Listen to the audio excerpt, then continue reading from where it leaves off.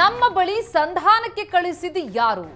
ಮಾಧ್ಯಮಗಳ ಮೂಲಕ ಸಂದೇಶ ಕಳಿಸಿದ್ರೆ ಫಲಪ್ರದ ಆಗಲ್ಲ. ನಮ್ಮ ಹತ್ತಿರ ಅವ್ರು ಬರ್ಬೇಕಲ್ವಾ ಅಂತ ಕುಮಾರಸ್ವಾಮಿ ಕಾಂಗ್ರೆಸ್ಗೆ ತಿರುಗೇಟ್ ಕೊಟ್ಟಿದ್ದಾರೆ. ಕಾಂಗ್ರೆಸ್ ನಾಯಕರು ಗಾಳಿಯಲ್ಲಿ ಗುಂಡು ಹಾರಿಸಿದ್ದಾರೆ.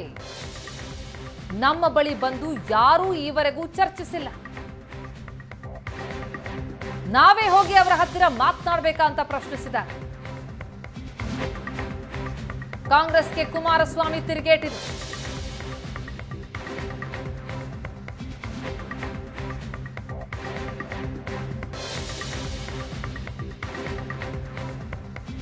ಯಾರಿಂದ ಸುದ್ದಿ ಹರಡಿದೆ ಅದು?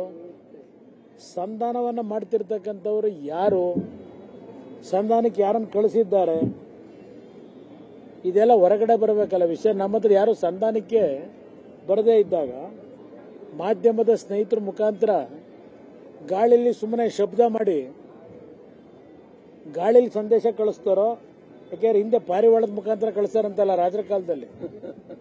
ಏನಾದ್ರು ಸಂದೇಶ ಕಳಿಸೋದು? ಸರ್? ಆ ಥರ ಇಲ್ಲ. ನಿಮ್- ನಿಮ್ಗಳ ಮುಂದೆ, ಕ್ಯಾಮ್ರಾ ಮುಂದೆ ಸಂದೇಶ ಕಳಿಸ್ತಾ ಕೂತ್ಕೊಂಡ್ರೆ ಅದು ಫಲಪ್ರದ ಆಗ್ತದ? ನಾನಾದರೂ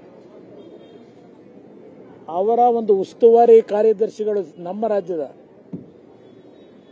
ಸುರ್ಜಿವಾಲಾ ಅವರಿಗೆ.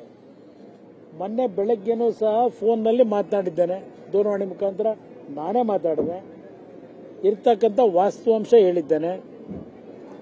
ಯಾರಿಂದ ಸುದ್ದಿ ಹರಡಿದೆ ಅದು? ಸಂಧಾನವನ್ನು ಮಾಡ್ತಿರ್ತಕ್ಕಂಥವ್ರು ಯಾರು?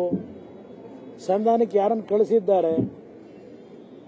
ಇದೆಲ್ಲ ಹೊರಗಡೆ ಬರಬೇಕಲ್ಲ ವಿಷಯ. ನಮ್ಮ ಹತ್ರ ಯಾರು ಸಂಧಾನಕ್ಕೆ ಬರದೇ ಇದ್ದಾಗ ಮಾಧ್ಯಮದ ಸ್ನೇಹಿತರ ಮುಖಾಂತರ ಗಾಳಿಲಿ ಸುಮ್ಮನೆ ಶಬ್ದ ಮಾಡಿ ಗಾಳಿಲಿ ಸಂದೇಶ ಕಳಿಸ್ತಾರೋ?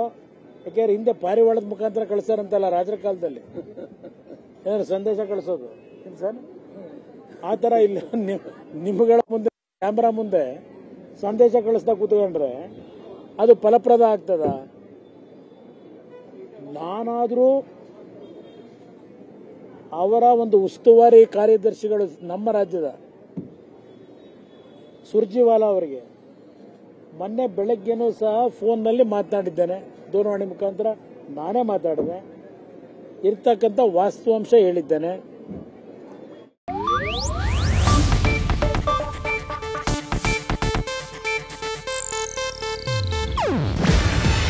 ಇದು ಏಷ್ಯಾನೆಟ್ ನ್ಯೂಸ್ ನೆಟ್ವರ್ಕ್ ಪ್ರಸ್ತುತಿ.